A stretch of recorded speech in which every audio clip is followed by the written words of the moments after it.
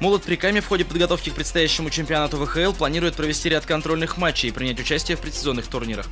Первым соперником станет Нижнетагильский «Спутник». С ним пермяки сыграют ровно через месяц, 13 августа.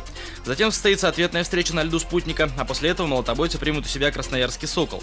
Кроме того, наша команда в конце августа выступит на турнире памяти Тарасова в Ижевске и поборется за Рубиновый кубок в Тюмени, который намечен на начало сентября. В Крымске завершилось первенство России по футболу среди юношей 1994 года рождения. В соревнованиях принимали участие 16 команд, среди них были и пермяки. Как мы уже сообщали, на групповом этапе наша команда одержала только одну победу в трех матчах и вынуждена была бороться за места с 9 по 16. Здесь юные амкаровцы также две встречи проиграли и одну выиграли, заняв в итоге 14 место. Лето – горячая пора у стронгменов. Российские международные турниры самого разного масштаба идут один за другим. Довольно крупное соревнование под названием «Вятский богатырь» прошло в Кирове. Побороться за награды в гости к местным спортсменам приехали представители нескольких других регионов, в том числе и стронгмен от Прикамья Юрий Александров. Первое упражнение было трекбол, второе упражнение был э, палец фингерса, третье упражнение перенос бочки весом 120 килограмм, э, четвертым упражнением была эстафета – то есть это 25 метров чемоданы по 120 килограмм и затем три оборота по крышке. И последним финальным упражнением был колодец весом 260 килограмм. Хорошо стартовать Александрову не удалось. После двух упражнений он оказался далеко за чертой призеров. Однако прибавил по ходу турнира и исправил положение, выиграв бронзу.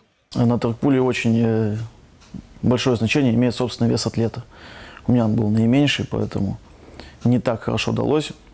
Второе упражнение тоже не заладилось, но с третьего упражнения собрался и оставшиеся три упражнения доделал на одном дыхании. Последнее упражнение решало судьбу, то есть пришлось очень сильно постараться, чтобы стать третьим.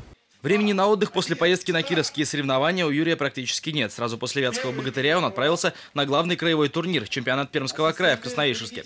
О его итогах мы расскажем в следующих выпусках новостей. Пермской футбольной семье пополнение. Начала активно развиваться пляжная разновидность этого вида спорта. Стартовал первый розыгрыш Кубка города. Дебютный турнир собрал 16 команд. В каждой группе у нас 8 команд. И на сегодняшний день э, две группы по 8. То есть группа А, группа Б. И еще набирается третья группа. То есть мы рассчитываем 24, э, 24 команды всего. Три тайма по 12 минут мы играем чистого времени. То есть э, правила у нас, э, ну, как и все российские, то есть э, отталкиваемся от них, естественно. Футбол на песке зародился в Бразилии. Игра довольно зрелищная. Площадка невелика, поэтому забивать голы можно практически с любой точки поля. Ударов по воротам полно, голов тоже. Счет 0-0, который нередко встречается в классическом футболе, здесь практически невозможен. Законодатели мод в пляжном футболе, естественно, представители южных стран. Впрочем, и Россия на международном уровне старается не упасть в грязь лицом. К тому же этот вид спорта активно развивается во многих регионах нашей страны. Пермяки пока в числе отстающих, но последнее время дела идут в гору. В конце августа мы собираемся, лучшие команды значит, э, повезем в Курган, там э, значит, Урал, то есть э, мы там будем участвовать. То есть планы войти в тройку, в призеры. Что касается городского кубка, то здесь на первом этапе все играют по принципу каждый с каждым. Затем стартует стадия плей-офф. Имена победителей и призеров станут известны 21 августа. Олег Романов, телевизионная служба новостей.